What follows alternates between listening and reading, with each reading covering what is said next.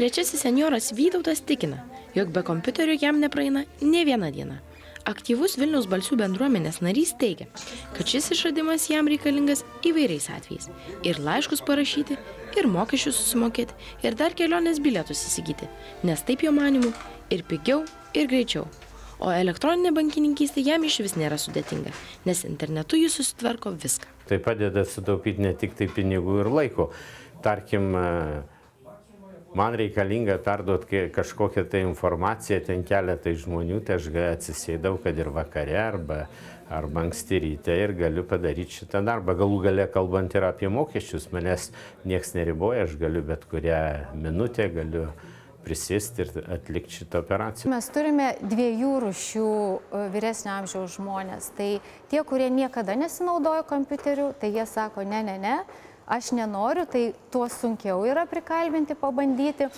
Bet tie žmonės, kurie jau naudojasi internetu, sakykime, informacijos paaiškai, ar elektroniniu paštu, ar per Skype bendrauja su savo giminaičiais, tai jie tikrai yra daug smalsesni. Nesvarbu, kad jau mes pagyvenę žmonės, aš be abejo, kad mes atsilikę nuo šių, šių laikinių technologijų, mūsų nieks nei aukštoji mokykloje, nei viduriniai to nemokino, bet, žodžiu, gyvenimas verčia, kad mes irgi kažkiek tai pasitemtum. Kad senioram yra labai, arba vyresnio amžiaus žmonėm, sunkiausia peržengti pirmą kartą tą padaryti. Po to, kai jie išmoksta daryti, jie naudojasi lygiai taip pat aktyviai, kaip jaunimas ir kaip vidutinio amžiaus žmonės. Tiek pat kartų naudojasi kortelė, tiek pat kartų naudojasi internetinė bankininkystė. Jeigu, pavyzdžiui, jie perka internetu, tai yra ne tik pigiau, bet ir yra galimybė susirasti prekių gausoj, ką jie galėtų nusipirkti. Nu, pavyzdžiui, mano mama perka internetu sodinukus, statybinės medžiagas, žemės į sodą. Tai jinai pirmiausia gali susirasti, kokia yra pasiūla visoje Lietuvoje, gali susirasti priimtiniausią kainą, tai reiškia pigiausią, ir tada sumokėti internetu ir jie atveža tiesiai į namus. Tiesa, anot seniorų mokytojų bei ekspertų, toks procesas nėra labai lengvas, nes išmokyti vyresnio amžiaus žmogų naudotis kompiuteriu gerokai sunkiau nei išmokyti vaiką. Pastebimas, aišku, ir dar vienas puikus socialinis reiškinys. Seniorai ima konsultuoti ir mokyti vieni kitus. Jie yra pasirinkę, žinokit, yra pasirinkę, jeigu vienas pasakė, kad vaikit, va čia va jūs Emilija pamokys. Nu jau jeigu Emilija pamokys, tai jau kito nepripažįsta tada. Nes jeigu draugė arba kaiminė išmokė konkretus var žmogus, pas konkretų žmogų ir ateina jau tada. Nes čia gal tiesiog, žinot, jau ir amžius, tas jau daug ką reiškia, kad, kad mhm. dabar kitas variantas, vyresnio amžiaus žmogus kažkaip gal ir nori pas vyresnį daugiau mokytis. Senjorų mokymas e, skiriasi nuo moksleivių, nuo studentų mokymo, sakyčiau, iš esmės. Su jais reikia išmokti dirbti, kaip sakoma, ir kiekvieną kartą tenka su jais mokintis dirbti. Šį kartą vėlgi papuolė na, mokymo prasme grupė, kuri yra, sakyčiau, iš vienos pusės ir standartinė. Bet kiekvieną kartą jos pradedant mokintis, mokinti yra neaišku atėjus, ar jie mokės ar nemokės. Kiekvieną kartą reikia su jais susiorientuoti čia pat ir labai, kaip sakoma, greitai, kad jiem padėti, kad jiem per trumpesnį laiką, kiek įmanoma, duoti daugiau žinių. Jeigu tai kalbam apie amž... senyvo amžiaus žmogų, jam žymiai lengviau identifikuotis, susitapatinti su uh, tokio pat amžiaus mokytoju, kuris yra įvaldęs, tarkim, gebėjimą naudotis kompiuteriu. Kaip tikina ekspertai ir patys seniorai, kompiuteris yra labai svarbus bendravimo prietaisas, nes galima susirašinėti su toli gyvenančiais draugais, anūkais, vaikais, pamatyti juos ekrane.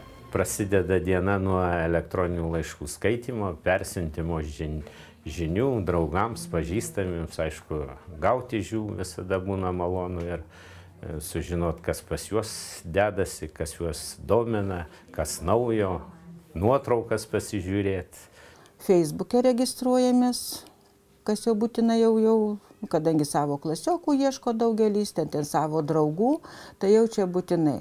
Pradėjo YouTube naudotis, irgi mūsų seniorai, ko anksčiau tikrai labai nesinaudojo. Nu ir labai dabar aktualu albumų sudarimas nuotraukų, kadangi elektroninius paštus turi, vaikai, anūkai, proanūkiai susiunčia visas nuotraukas, nu ir ką tam elektroniniam pašte pasiklysta žmogus. Tai mes jau dabar jau rodau kaip aplankus. Čia tas, kas turi namie kompiuterį be abejo.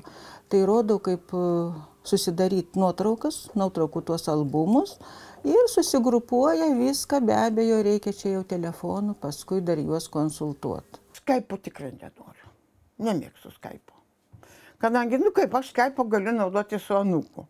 Vienu ar kitu. Nu tai ko aš dabar čia su juo žinot Skype'u. Kieno išvažiavę artimieji į užsienį, Skype'as labai reikalingas. Mm. Tai mes čia jį po kelis kartus pasimokom, pakalbam ir viskas tvarkoj tada. Ir va, susisiekia, nes įsivaizduokite, jeigu ta močiutė 80 su virš metų, 80 kokių 5 arba jau link 90 sėdi viena namuose, visi vaikai yra išvažiavę ir vaikai yra nukai ir pronukiai, tai kas jai lieka? Viena linksmybė tai yra tik tai Skype.